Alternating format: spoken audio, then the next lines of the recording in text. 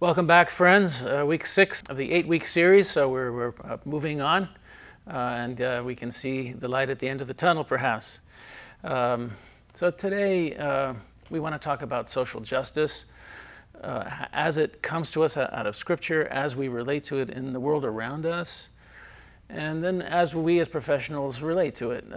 what are the responsibilities we have and the obligations and uh, the things that we need to be learning and being aware of uh, in order to come up to this uh, particular uh, reality. Uh, let me talk about justice um, in particular, uh, justice as a priority.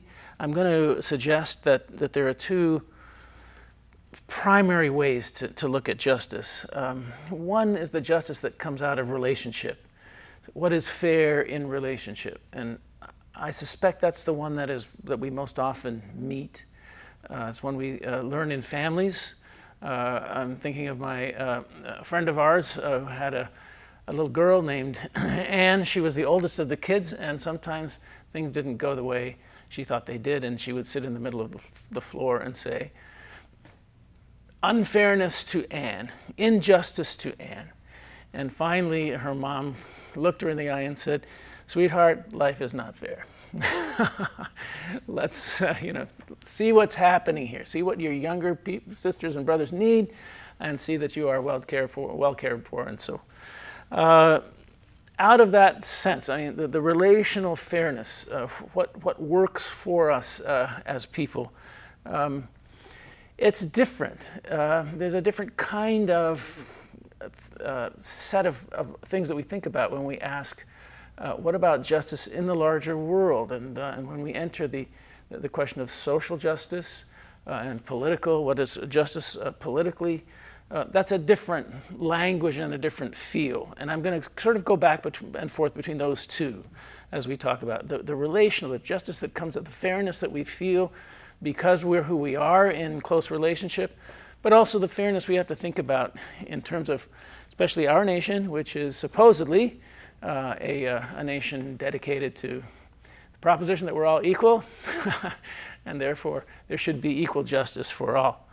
Uh, I'm going to first, concerning that, that um, public justice, I'm going to briefly talk about four areas uh, in which it is de defined. And I'm not going to belabor them if this is something you're interested in. A lot of uh, um, uh, opportunities and resources online to take a look at this. Um, but fairness is generally divided into four aspects so that uh, fairness could, could be understood as distributive justice, a justice where everybody gets their share and um, have fair access to goods. Uh, I think you can think of some examples like uh, uh, just a, a, living wage or perhaps health care. Um, there's a second area, of procedural justice, where there's fair play. If there's a problem, if one raises a problem, is that heard fairly, and is it, uh, is it worked at fairly? Is the process fair? And there's our judicial system and, uh, and, and the strengths and weaknesses we have uh, there. A third area is restorative justice, the justice that places someone back in the position that they lost. Uh, and so that allows someone to renew and find a level, level playing field again. And, uh, and the fourth element, um, retributive justice, which we call punishment, uh, the justice that says you did wrong, and, uh, and there has to be a, a, an acknowledgement of that, and there has to be uh, uh, recuperations for that. Nursing has a big uh, connection with justice. There's a, it's always been important for nursing. Florence Nightingale set the tone uh, when she was in the Crimea and she came back and uh, she went to Parliament and she went to the King and she said, we have to take care of those who are weak. You are, you are caring about the, the, the wealthy people in the, in the nation, you're sending people out to war, and you're not taking care of the soldiers. So we need to put resources uh, and we need to take advantage and, and, and, take responsibility for what's happening uh, in, the, uh, in the trenches. Nursing justice often focuses on um, advocacy on behalf of, uh, of vulnerable populations. uh, those are the people that you see.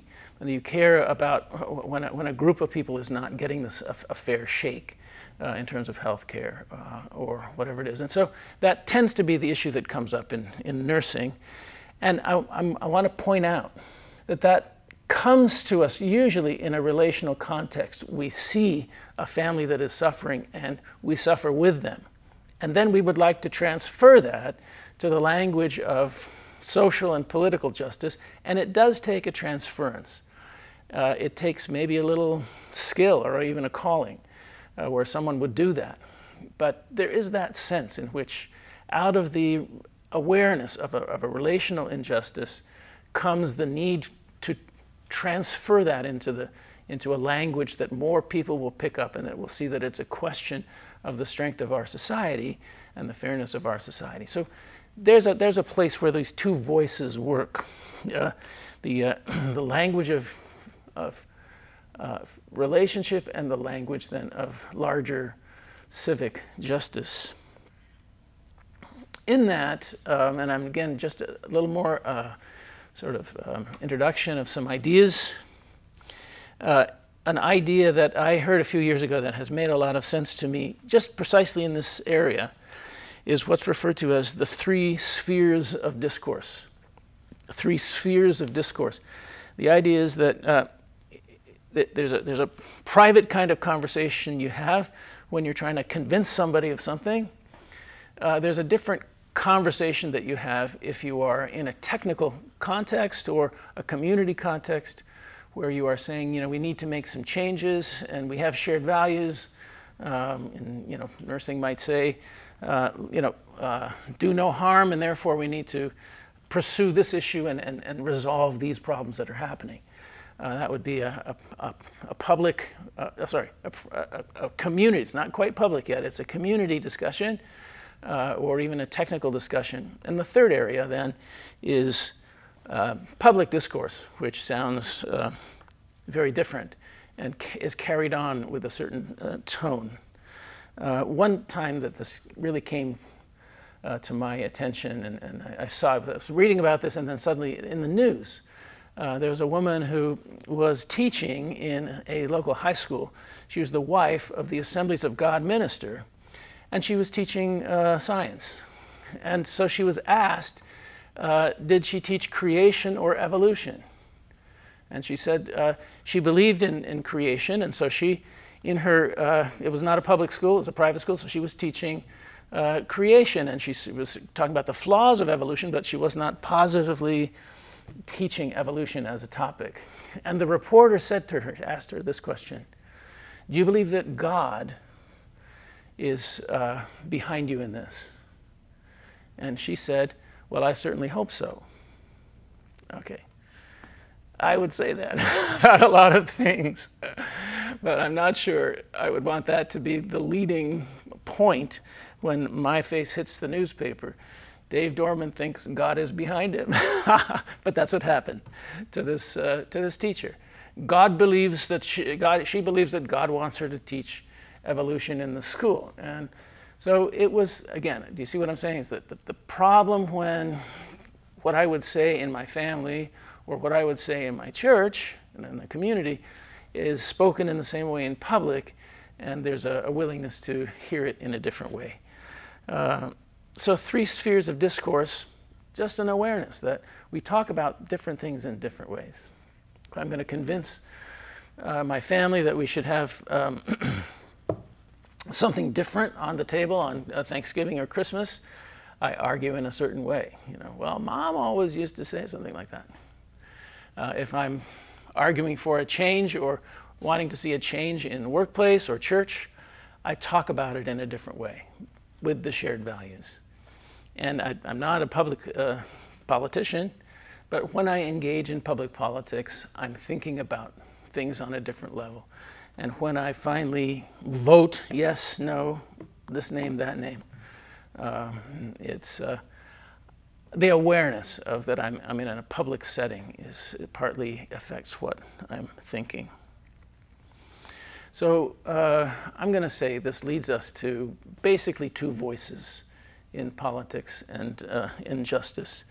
Uh, it's been said um, that all politics is local politics.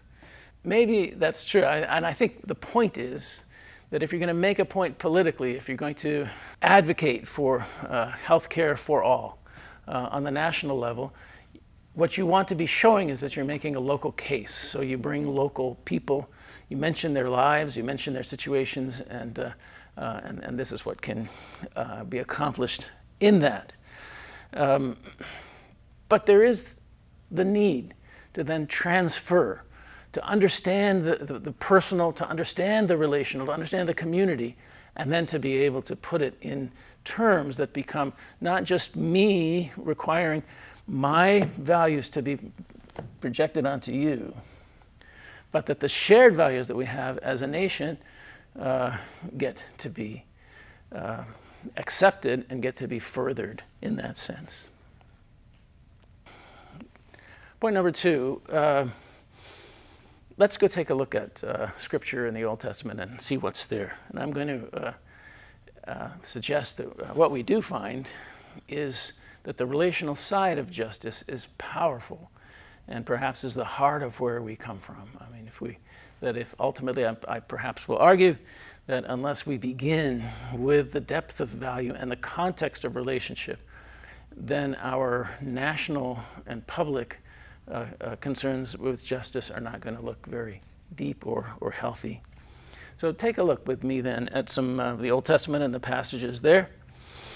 Uh, the starting place is that uh, we understand uh, in the Old Testament that Israel as a nation was a covenant community.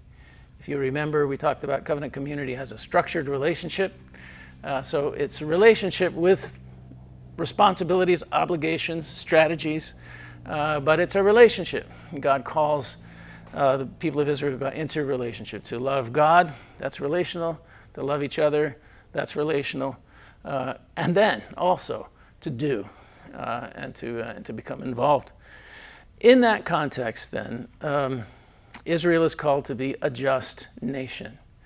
To love God, to love each other means that we will be looking for justice, looking for injustice, and looking to, to correct it. So uh, se several points here that, uh, that I'll mention, and I'll kind of do it quickly uh, and look at some passages in Scripture here. Uh, first of all, to say that this comes out of God's own personal justice. He's a God who is, is just, He's fair. Uh, out of His love, it means that He cares uh, deeply for each one. And, and so and so justice is defined in the Old Testament as God's own justice. It's defined, defined personally. Uh, reading from Psalm 7, 9 through 11, uh, we hear the, uh, the psalm say, psalmist, Oh, let the evil of the wicked come to an end, but establish the righteous. I'm going to remind you that the righteous are those who fulfill covenant. Establish the righteous, you who test the minds and hearts. O righteous God, God is my shield, who saves the upright in heart. God is a righteous God and a God who has indignation every day. So, covenant community is run by God. A just reality and community is run by God, according to the Old Testament. It's God that insists, it's God that's aware, who looks for injustice and justice every day and uh, asks his community to be a part. So that's the second point. Uh, God calls Israel into just relationship, uh, into uh, just covenant. Uh, Jeremiah, sorry, Jeremiah 9, 23, 24. Um, God promises, uh, I will uphold you with my righteousness. I will uphold you in the way you go with my own righteousness. And so uh, we are called into uh, a, a, relationship with others that is just. That's the part of the love, but it has this specific element as well that we're called into justice with each other. Thirdly, I love this point. Uh, you may appreciate it too that the just person is the one who strengthens the community. I'm not just after my own benefit, but as I move in justice in all the ways that that means, it means that the community is, uh, is being is being strengthened. Uh, Proverbs 29 7 tells us that the righteous know the rights of the poor. they're aware of them. They, if I'm righteous, it's not just that I'm going to take care of my own family, but I'm aware of, of society as well and, and aware of the needy in society. And I'm going to be uh, fulfilling uh, my obligations there and being aware. Uh, it follows uh, the, set, the fourth point a just person must depend on a relationship with God for a just life. Uh, he is the one who is righteous, He's the one who supports my righteousness. He's the one who is faithful in covenant. And as I move uh, to be faithful in covenant, that is what uh, He supports.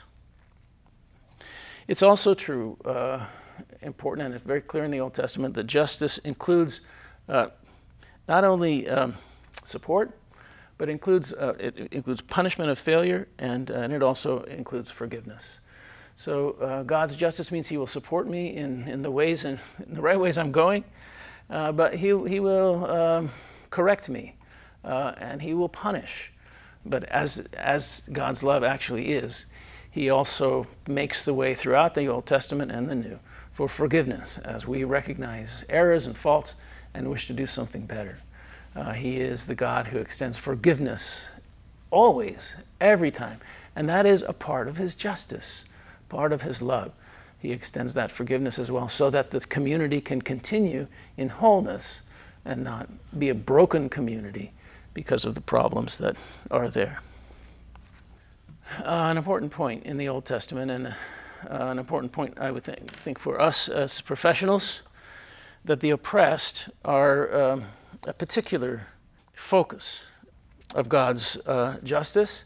Exodus 22, I'll read um, verses 21 uh, to 23. You shall not wrong or oppress a resident alien, for you were aliens in the land of Egypt. You shall not abuse any widow or orphan. If you do abuse them, when they cry out to me, I will surely heed their cry. My wrath will burn, and I will kill you with the sword. And your wives shall become widows, and your children orphans. Hmm.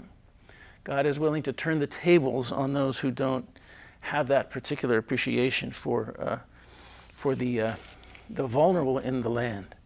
Uh, and notice that it includes not only the needy, the widows, the orphans, the ones without perhaps access uh, to a living wage uh, and other uh, things that society will give, but also the aliens that live in our midst. A huge uh, emphasis in Scripture uh, that those who have come to Israel and are living and are willing to participate in community are accepted as covenant members fully on the basis of their, uh, their relationship.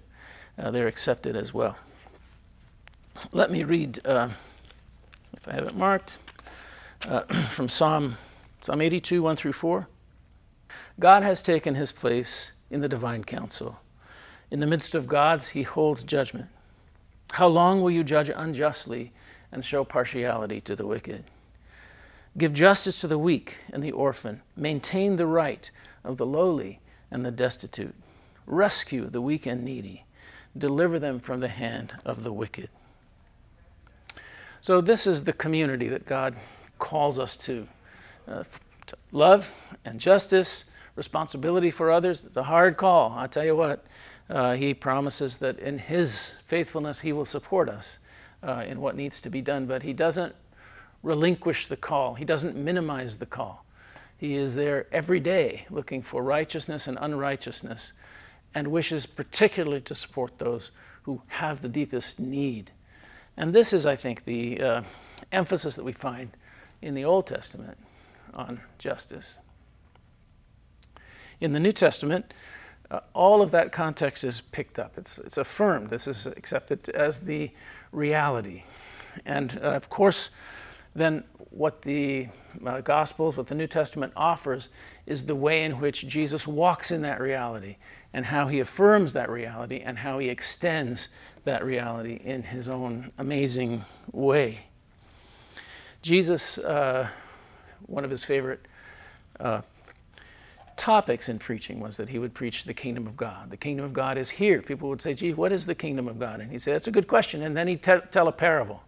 And the parable was often about how we seek God or how we deal with each other. Uh, and, uh, and so and, and what happens is that the, the language of justice gets, uh, gets worked into the, uh, uh, the, the, promise of the coming of the kingdom of God.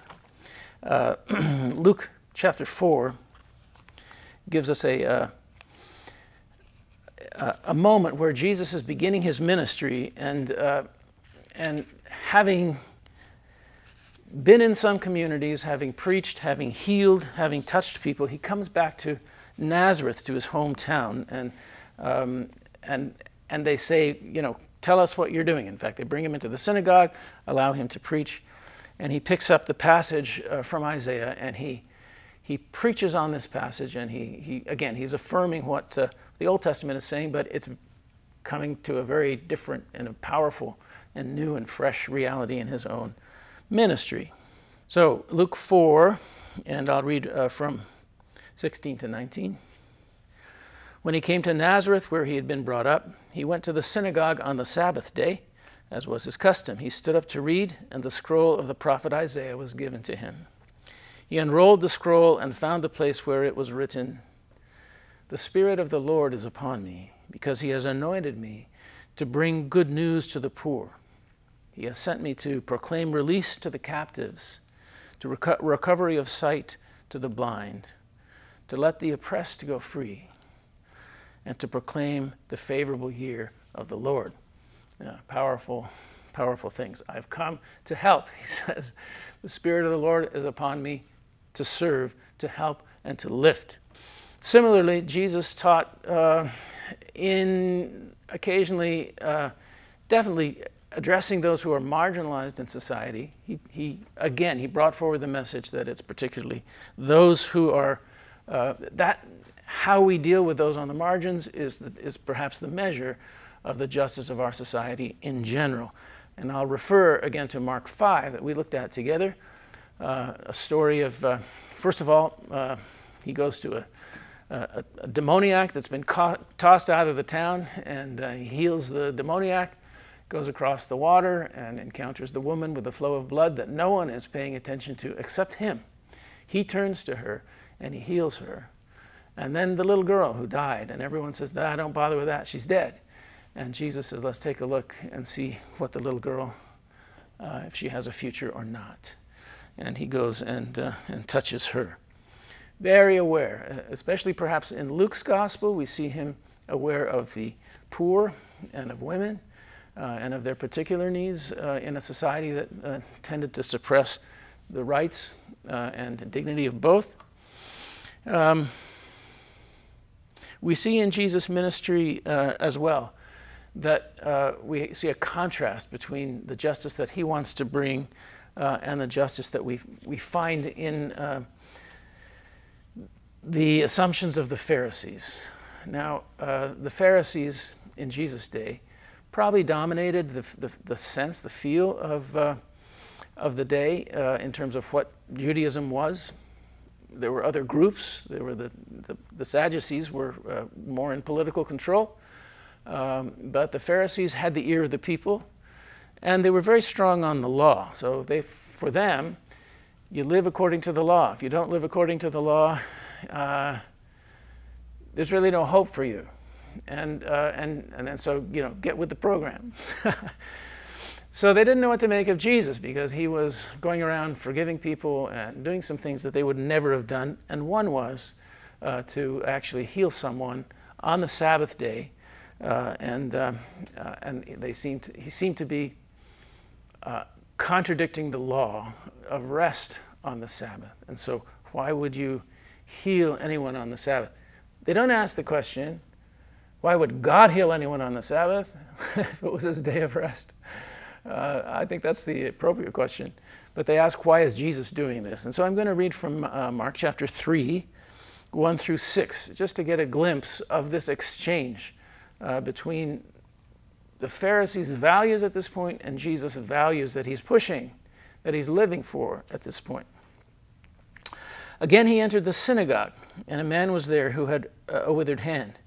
They watched to see whether he would cure him on the Sabbath, so that they might accuse him. And he said to the man who had with the withered hand, he said, Stand forward. Then he said to them, Is it lawful to do good or harm on the Sabbath? Okay, so that's the question. Is it lawful to do harm or to do no harm if it's on the Sunday or a Saturday in this case? Is it lawful to do good or harm on the Sabbath, to save a life or to kill? But they were silent. He looked around him at them with anger. He was grieved at their hardness of heart. And he said to the man, Stretch out your hand. He stretched it out, and his hand was restored. The Pharisees went out and immediately conspired with the Herodians against Jesus how to destroy him. Uh, so, uh, do you see that uh, difference? They're dealing with what they think is a, the Pharisees, a public form of justice uh, in which the nation can survive. And Jesus is saying, You are not being relational. You're not dealing with people as they, they are. In fact, you are lacking humanity in your lacking of understanding who God is. Now, with the Old Testament and the New Testament, God's justice includes uh, very much support and healing and restoration. It also includes punishment and forgiveness. Jesus warns the Pharisees and other groups, you know, if you're, you're not hearing what God is saying right now, you may have a problem uh, to come, and, uh, uh, uh and you need to watch out for that. But Jesus, more so perhaps than any other figure that we have in the Bible or perhaps in the world, he is most especially about the forgiveness that follows when we re- we're willing to put aside uh, those things that are against uh, what, what God wishes us to be and to do. And Jesus himself, of course, is the great figure of that. At the cross, he receives the judgment of God as if, as if it were his to receive. And by rising, then, he allows us to, uh, to step into his life and for our forgiveness, for our sins to be uh, crucified with him on the cross so that we can have another chance uh, and move forward. And it's all about acknowledging our wrongs, being ready to change, and finding a fresh, a freshness uh, of new life uh, in the Lord. It's a really good deal. Jesus knows about the two voices, though, and I think it's uh, interesting to read a parable in Luke 18 where uh, he is describing a woman who has a problem and, and, and she's, she's trying to take it to the judge and the judge is in his own world and he's not listening. And I think that, listen to the two voices here the, the relational and then the more manipulative uh, uh, and even political uh, understanding of, his, uh, of the judge. I think it's uh, an interesting comparison. So, Luke 18, uh, 1 through 8. Then Jesus told them a parable about their need to pray always and not to lose heart. He said, In a certain city there was a judge who neither feared God nor had respect for the people. In that city there was a widow who kept coming to him and saying, Grant me justice against my opponent. For a while he refused, but later he said to himself, Though I have no fear of God and no respect for anyone, yet because this woman keeps bothering me, I will grant her justice so she may not wear me out by continually coming. And the Lord said, Listen to what the unjust judge says. And will not God grant justice to his dear ones who cry to him day and night? Will he delay long in helping them? I tell you, he will quickly grant justice to them. And yet, when the Son of Man comes, will he find any faith on earth? Pray always uh, and don't diminish that appreciation that God is uh, who God is. The other uh, very poignant and tragic uh, difference we see the two voices of, the community voices and the national voices in, in Jesus' life is that uh, is in his uh, trial and crucifixion. Um, because the Jews were not, did not have the power under Rome to execute any prisoners, because the group of temple leaders wanted to execute Jesus, they had to first condemn him in their own community rules, and then they had to go across the street and take Jesus to Pilate, and they had to try to condemn him according to Rome's rules. So we have that shift. It's a negative example, a very bad example of, uh, of how community desires are explained in public terms and therefore something gets done. But they accuse Jesus of blasphemy. He spoke against the Hebrew God uh, in their understanding. Uh, and, uh, and so then they take him across the street and say that he was fomenting rebellion. He was a king, trying to be a king against Rome. And, and Pilate works this out uh, with him uh, in, uh, in the Gospel of John. And Pilate says, I, I find no problem with him, but he's forced uh, by the political situation uh, into crucifying Jesus. Jesus is crucified by the misuse of the two voices of justice. Uh, and so we see it uh, occurring in that way. So, our fourth point is I want to do a very quick, brief history of how those elements of justice sort of get addressed in the next 2,000 years after, uh, after the, the, life and death and resurrection of Jesus, uh, and how it happens in societies, Christian societies, and the first societies are mainly all Christian in the Western world, and then, uh, and then they become more secular, uh, and how the pers- personal and public realities uh, are affected. Generally, what we see is a split happening between personal elements and national justice. And by that I mean an increasing feeling that if you have a personal problem, it's your personal problem, and just you know stick with it. If you have a personal opinion, it's your personal opinion, and uh, and it's not something to uh, to bother the uh, uh the entire world about. But uh, the other push that's happening is uh, is a sense, and it probably comes. It does come from from from the fairness that is in the Old and New Testament that is preached every, or at least manifested every week in these uh, Western medieval societies, uh, is that there should be some fairness, there should be some equality, there's something about how we all are equal under, under God, and how does this then happen, how does it develop in a, a public uh, situation? And the, the, the, great example that we look at uh, is the, uh, the writing of the Magna Carta uh, as certain nobles got together and they uh, uh, got, were able to, to catch King John and force him to write that they had equal rights. Uh, they had certain rights, and it was, it was the, the rights of the English uh, in that context. It's the England that allows these rights. Uh, okay, the Magna Carta is a symbol for the emergence in Western legality of the idea of, of equality of, of the rights of mankind, of humankind. Uh, the problem is, historically, it was, it was just for those nobles.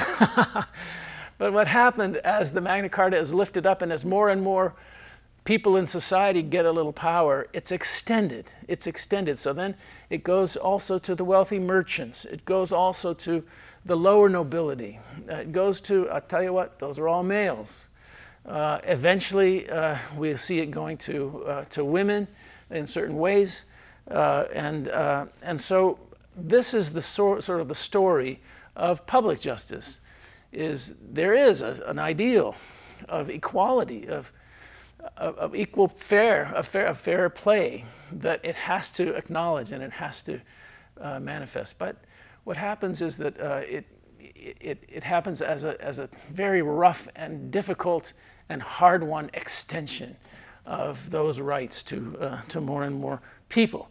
I'm sure you can think of uh, examples uh, today. Uh, we, uh, the US Constitution, Bill of Rights, is a great example of how that becomes an attempt for universal justice. And yet today we're also uh, asking how does that relate to, to, certain people groups who have defined themselves in certain ways? How does it uh, relate to uh, peoples of different culture who are living with us? Uh, and, uh, and so uh, th- those problems are interesting, those problems are real. if universal relational justice is true, how, where, where are the gaps? and, and do we have the energy? Do we have the resources? Uh, to, uh, to address those, uh, those injustices. In that context, Christians um, are having to learn how to address their strong sense of what's valuable in a public context. And we do so well and we do so not so well. I suggested earlier a, a story in which um, there was a teacher who was great at community, uh, but when she shifted into the public sphere, um, she didn't do that well, and, uh, and her, uh, uh her, her language became something that was offensive, and she lost her voice, really, in, in the public sphere. Uh, we have a, a situation today uh, in terms of evangelical Christians are recognized to be a large, important section of what's happening to us politically. And, uh, uh, and again, um, the question is is that voice being expressed uh, helpfully? Um, I'm an evangelical Christian, I'm a white male.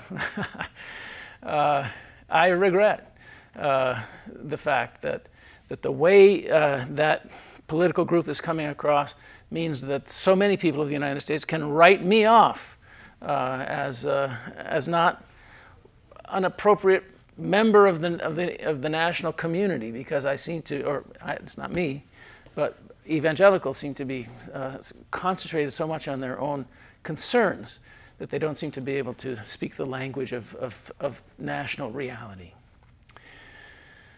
One political party, uh, to take one example, uh, very much puts forward the, the problem of abortion and how we can eliminate that uh, and, and, and, and that form of murder in our nation. The other political party right now is saying a lot about babies in cages uh, and the destruction of life that happens in that way. I believe that the impulse for both those concerns are Christian. I believe they're both relational. I believe they're both deep and real. And so, uh, what I'm saying is, we have a challenge, each, each one of us, and also our groups have a challenge uh, to somehow put forward public policies and public suggestions that uh, make it understood that our concerns are not just for me, uh, but our, our concerns are for the health of our nation uh, and, for, uh, uh, and for the value of, uh, of the country that we, we represent and that we would like to see continue in, in its good strength. So, but this too, and it's easy to get discouraged at that point and simply become privatized. But I, I would suggest that advocacy for justice is never off the table for the church. It's never off the table for Christians in their discernment to want to see today what is something wrong that we can right I mean, I, I think when I say that, that phrase, I think of the whole area of nursing research, which usually takes, looks at a hospital and asks, you know, what's, what's going not quite right? What's the research that behind it? How can we affect the change? How can we make uh, a case in, a, uh, in, in the medical environment for something that relates to healthcare? Uh, that's something that will reduce costs, something that will increase patient uh, satisfaction, uh, that's the political argument in a, in a, in a hospital. Uh, but underneath is the very profound and beautiful concern of nurses that people stop being hurt and that people get better sooner. So uh, some, uh, some ideas there. Let me draw some conclusions. Again, uh, I'll reaffirm that uh, since Florence Nightingale, nursing has focused on justice uh, and advocacy. And we do have uh, political advocacy groups of nurses. ANA has a strong uh, branch for that. Uh, and uh, again, I, right now, these days, uh, what I hear is a strong nursing voice asking about the, how it is that we can bring about um, health insurance for as many people as possible. I think that seems to me to be the most important or the, the primary political uh, concern of nurses as a group. Justice has to be uh, communally addressed and, and, uh, and communally pursued. I, I think, again, our, our, sense of justice rightly comes from the connections that we have personally uh, and, uh, and, and, and relationally, and it means it has to be negotiated in, in that sense as well. We have to be aware of the two voices of, of justice. Uh, they're natural, in a sense, for nursing, both the individual sense of what, what is going wrong, the personal sense, but also the need to see things change uh, so that um, things need to reach, the things that people need, uh, reach them in their way. I'll tell you, uh, one um, nursing voice I've always, and I'll just close with this comment. Uh, one nursing voice I've always appreciated is the fact that uh, the League of Women Voters um, usually includes nursing uh, groups' policies when they talk about the pros and cons of, uh, of uh, political uh, positions or, or, or uh, bills that come before the, the voters.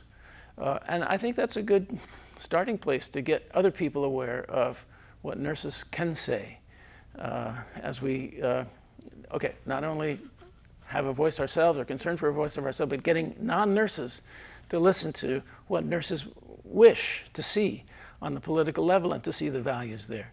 There's one example, I think. Uh, League of Women Voters uh, presents itself as, as an unbiased um, resource, uh, but it's nice to see the nursing voice there. All right. Social justice. I hope this gives us some uh, things to talk about and think about. Uh, and uh, we'll see you next week.